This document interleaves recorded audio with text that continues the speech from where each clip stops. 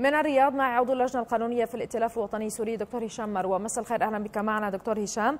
إذا سوتشي انطلق بغياب المعارضة واشنطن آه، باريس. وبالمقابل روسيا ترى دائما في آه، سوتشي المكان الذي آه، يخرج منه كل شيء شرعي فيما يتعلق بالملف السوري على عكس جنيف. هكذا تنظر روسيا. كيف تابعتم اليوم الأول؟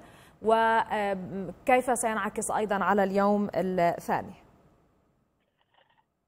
مساء الخير لك والإخوة المشاهدين. أهلا وسهلا. الواقع يعني الرسائل التي وجهها الروس إلى أبنائنا وبناتنا بقصف شديد في إدلب وفي الغوطة يدل بشكل واضح على أن على رسالة سلام يحملها الروس. يعني لو كان هناك فعلا رغبة جادة وصادقة في عملية سلام في سوريا لما كان ثمن أو رفض المعارضة سببا في أن تخطف سوريا وأن تخطف المناطق التي تخضع لقوى الثورة والمعارضة وأن تجري فيها مجازر. هذا يدل تماما على أن القضية ليست قضية حوار وبحث عن سلام، القضية قضية هي مشروع يجري العمل على انتاجه وإيجاد أرضية شرعية ما لإنتاجه وتسويقه لدى الأمم المتحدة وعند وعند المجتمع الدولي. وهذا أمر لم تقبل به المعارضة وأوضحت موقفها للروس وعملت مع الروس ومع المجتمع الدولي شادة على أن يكون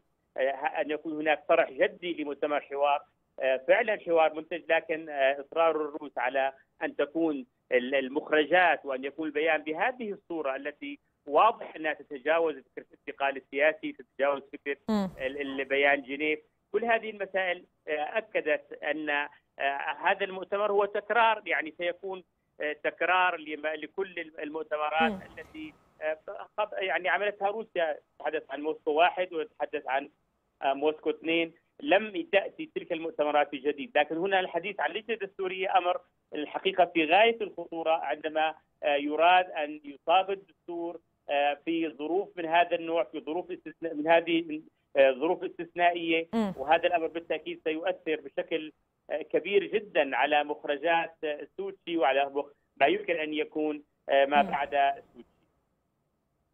ما بعد؟ ما بعد سوتشي. طيب بالميدان كيف يؤثر فيما يحدث في سوتشي اليوم؟ دائما هو من أبرز ما يحدث عسكريا على الأرض من أبرز المؤثرات في المؤتمرات.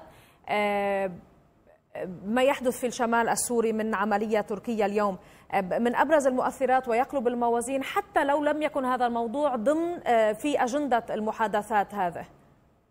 يعني أنا أقول ما يجري على الأرض ميدانيا يؤكد وعلى الأخص عندما يعني تأتي روسيا لتقول نحن نريد أن نكون دولة ترعى السلام بين السوريين ونرحب بعملية السلام بين السوريين.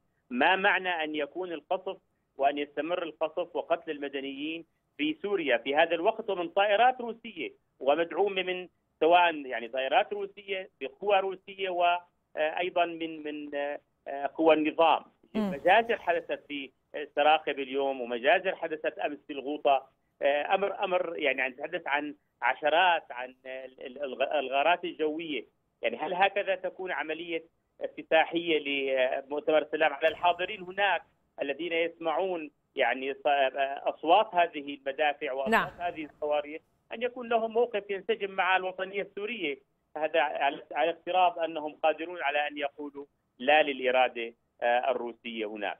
أنا أشكرك جزيلا من الرياض عضو اللجنة القانونية في الائتلاف الوطني السوري دكتور هشام مروة.